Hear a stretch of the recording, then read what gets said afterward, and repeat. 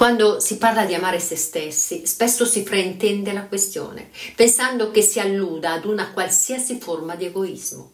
Amare e pensare a se stessi viene visto come un bieco vivere, come essere incuranti del prossimo. In realtà, l'amare se stessi è l'opposto dell'essere egoisti. Essere nell'ego e sentirsi vittime, incapaci, inadeguati, deboli e lasciare che a guidarti siano i sentimenti di rancore, di rabbia e di vendetta. E questo essere egoisti. Vivere nell'io sono, invece, e far sì che sia il tuo superconscio, quindi l'amore, a guidarti. Significa avere la consapevolezza di ciò che ti muove dal più profondo del tuo subconscio.